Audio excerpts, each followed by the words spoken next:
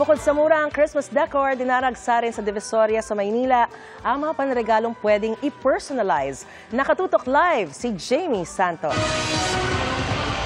Jamie, ano-ano ba yan? Maris, unti-unti nang dumarami yung taong nagtutungo rito sa Divisoria, namimili ng pangregalo labing limang araw bago Pasko.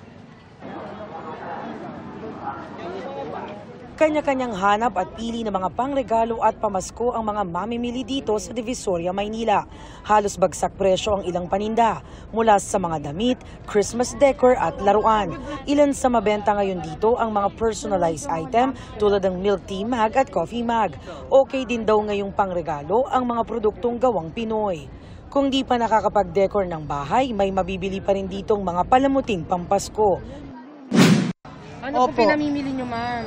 pang exchange gift, para regalo. Yung mga apu-apuhan. Ano po ba mga favorite ng inyong apo? Ito dress daw eh, pinabibili dress.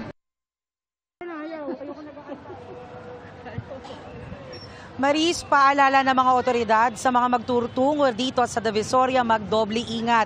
Magdala na rin ng payong dahil biglang umulan tulad ngayon, no? umuulan na dito ngayon. At kung hindi maiiwasang magsama ng mga bata, ay huwag mag-iwaglit sa kanila para hindi mawala. At yan ang latest mula rito sa Maynila. Balik sa iyo, Maris.